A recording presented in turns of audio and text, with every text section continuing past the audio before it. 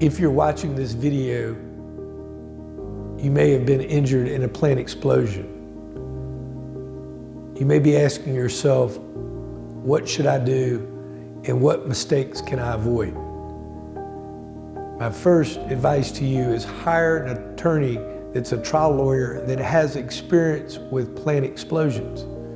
Let that attorney go to work for you and your family and help find the cause of the plant explosion. Help develop a theory against products manufacturers or other subcontractors or companies not affiliated with your employer that are responsible for this explosion. Do not speak with insurance representatives of the company that's responsible for the plant explosion.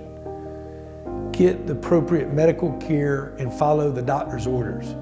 If you have any questions at all about your plant explosion case in Georgia, give us a call.